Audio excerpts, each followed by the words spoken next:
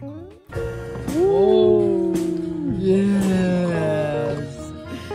Grilled Balot Gaming. Nga nga. nga nga ba? Nga nga. Nga nga.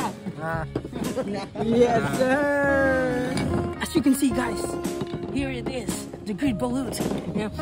You can smell the charcoal in it, and then um, it's very spicy. It's very spicy though, guys. So, aside sa more than a week na nga trending ng grilled balut, karon pag naman siya matry, guys. So, let's go. Kub-kub na this. Saan may pagkaon ba? Gusto kang tutorial?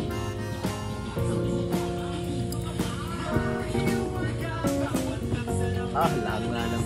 Wala eh. Ah, pero atik-atik din ka no, wala di mo. Naon na. Kanara ang, ano, grilled balut.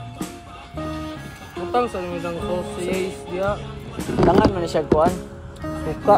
You can you gotta you gotta put the salt here. Ah. Mm.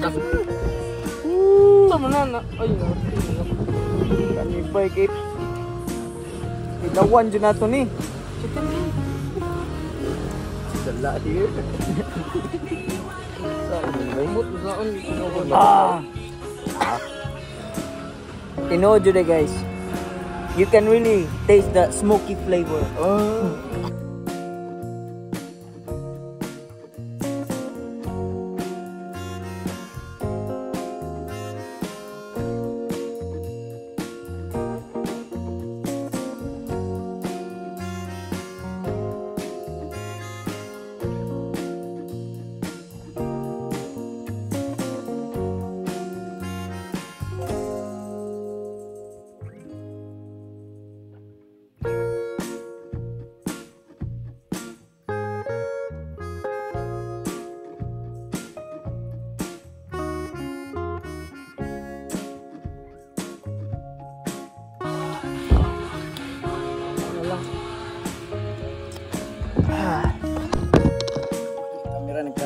Tumbling-tumbling no. Anak biya tos kung gunit kamera.